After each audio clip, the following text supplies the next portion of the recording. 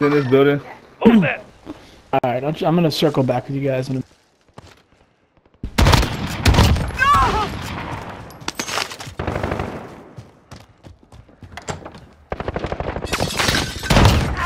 Ah! oh yeah, get that, buddy.